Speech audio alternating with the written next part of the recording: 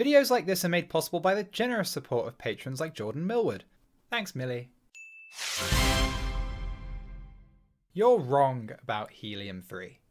Probably, but not in the way you might think. Helium-3 is an isotope of helium that's ideal for nuclear fusion, an isotope being an atom with the same number of protons but a different number of neutrons. Helium-3 has an atomic mass of 3, hence the name. Nuclear fusion is the opposite of the fission process that currently powers the world's nuclear reactors. Two small nuclei are squashed together with enough energy that they fuse into one larger nucleus, but the resulting larger nucleus actually has a lower mass than the sum of its parts. This so-called mass defect is converted into energy, with the amount of energy released described by an equation you probably haven't heard of. This is all stuff that your average armchair nuclear physicist already knows, but this is the point where the misconceptions start forming. I can already hear comments being typed along the lines of, why would you fuse helium-3 when way more abundant fusion fuels, such as isotopes of hydrogen, are easier to fuse and release more energy? Therein lies the point of this video.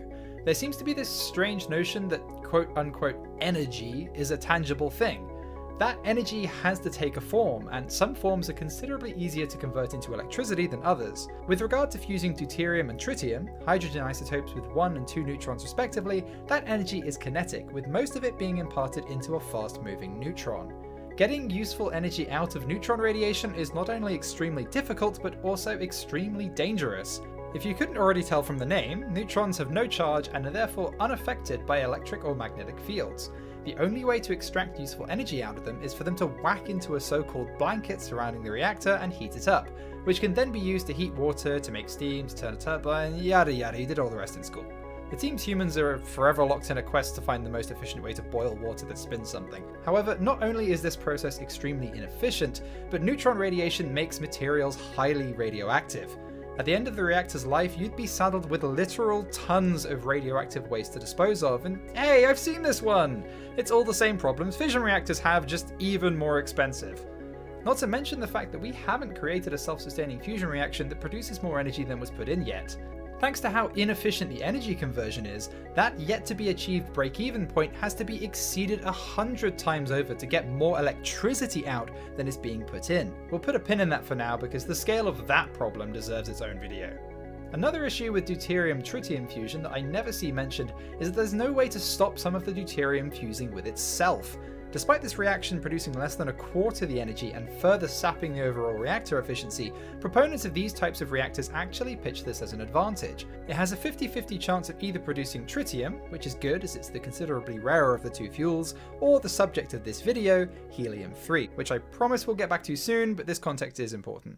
The plasma isn't hot enough for helium-3 fusion to start happening, so it's considered an impurity and needs to be extracted. Separating the helium from the hydrogen is energy intensive, not to mention then separating out the different helium isotopes. This further reduces the reactor's efficiency and only produces micrograms of helium-3 per fuel cycle. So what makes helium-3 so much more attractive as a fusion fuel? Helium-3 fusion is aneutronic. If you fuse helium-3 with deuterium, most of the products are charged particles, which can be contained and controlled with powerful magnets. Direct energy conversion of the charged particles can be used to produce electricity, which can achieve efficiencies of up to 80%. When you realize helium-3 fusion requires 2 to 3 times as much energy to achieve as hydrogen fusion, but is almost 3 times as efficient without producing radioactive waste or dangerous radiation, it starts to make a lot of sense. Although you still run into the same problem with deuterium fusing with itself, this reaction produces about 1% the number of neutrons generated by a deuterium-tritium reaction. But going one step further, you can actually fuse helium-3 with itself, which only produces charged products, none of which are radioactive. There are no pesky neutrons damaging the reactor and producing radioactive waste. When scientists speak of nuclear fusion being the holy grail of energy production, this is the reaction they're talking about. So why aren't we fusing helium-3 already? There are two key problems. Firstly, helium-3 is extremely rare on Earth. Yes, you can produce it using hydrogen fusion, but not only does this have all the problems previously mentioned, but the energy you could get out of the helium-3 produced versus the energy required to generate it in the quantities you'd need simply doesn't break even. I would love to be wrong about this. The fusion startup Helion claims that their patented fuel cycle will be able to produce all the helium-3 they need and still break even, but they're not without their critics. It's equivalent to burning a forest to power a machine that makes synthetic oil, when you could just mine the oil instead where could we mine helium-3? I'm sure you know where this is going, but it is, of course, Instead of producing helium-3 in artificial reactors, why not just use helium-3 produced by the natural fusion reactor right there in the sky above us and deposited on the lunar surface by the solar wind? The lunar regolith is estimated to contain a million metric tons of helium-3. For context, just 20 tons of helium-3 could meet the energy demand of the entire United States for a year. The energy produced would be up to 270 times greater than the amount required to extract it and transport it back to Earth, a ratio that producing it with deuterium fusion reactors simply can't hope to match. This is why mining helium-3 on the moon has been such a staple of science fiction for decades, and why saying just make it on Earth or fuse hydrogen instead is not the slam dunk some folks seem to think it is. No shade, Space Doc, I love your content, but you're wrong. The thing is, although the moon has a lot of helium-3, concentrated in the roughly 20% of the surface covered by the lunar maria, it's spread incredibly thin and buried in the top few meters of regolith. You can't simply land on the moon, dig up a chunk of helium-3 and fly back to Earth. For lunar mining to be economically viable, you would need vast infrastructure and a permanent human presence there to process the sheer quantity of regolith required to produce even a small amount of helium-3. I'm sorry, did someone just say permanent human presence? Wow, that's like taking the political stuff that happens here on Earth and putting it in space, which is like both the things I'm most interested in talking about. How did you get in here? You see, not only is the moon a great place to get helium-3, but if you want to build any sort of sizable infrastructure in the solar system, like, say, a Mars colony, we're kinda lucky to have this massive hunk of low-gravity rocks just hanging around in a close orbit. Well, relatively close at least. So not only is there an economic incentive to colonize the moon, but once the right infrastructure is set up on the lunar surface, the rest of the solar system is practically at our fingertips. Well, within reason. True, but the thing about becoming a multiplanetary species is that we probably won't be doing it as some sort of united Earth. There will not be one of these factories on the moon, but perhaps an American factory and a Chinese factory and maybe an Indian factory. But it begs the question of how the politics and the political systems of the right now world will inevitably extend into the not actually that far into the future world.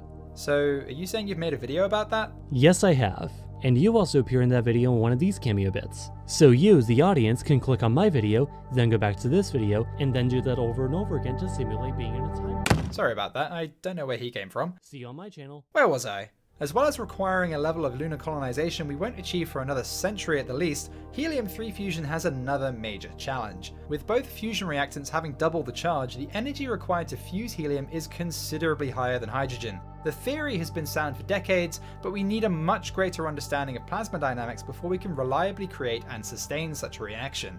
One of the biggest surprises on my degree was learning just how little we understand plasma. It isn't even properly understood why Hall effect ion thrusters work. Seriously, they shouldn't work, which is why they're so hard to design and scale up. Put a pin in that because it's a topic for yet another video.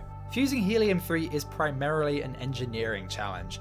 That's why fusion research is so important and the development of hydrogen reactors is a key stepping stone to achieving the dream of limitless clean energy.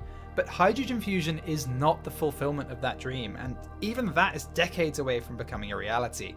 Fusion research is absolutely worth investing in, but it isn't the silver bullet to solve our near term energy problems. Why pin all of our hopes on spending decades trying to recreate the sun in a reactor when we can already harness the sun's energy directly? Helium-3 is a miracle fuel, but one for the next century, not the one we live in. It isn't a pointless venture, but it also isn't the solution to all our current problems. And that's why, until you clicked on this video, you were probably wrong about it. A massive thank you to KhAnubis for his segment. Be sure to go check out his accompanying video on how humanity will colonize the solar system. If you think I'm wrong, let me know in the comments below and let's get a discussion going. I didn't even get around to mentioning alternatives like PB Fusion, but that stuff's pretty boring. And that's where I'm ending this video on that pun. A massive thank you to my patrons and donators for their generous support, and an extra special thank you to the amazing Steak, Dakota Clark, Olaf Hammerhand, Madsor, Peter Lushtinets, Simone67, Lady Lagzalot, Scott Milligan, Jesse Smith, NX74656, Jordan Millwood, Darth Malachor, Frosty Moon, and Dommy Martin Glogie.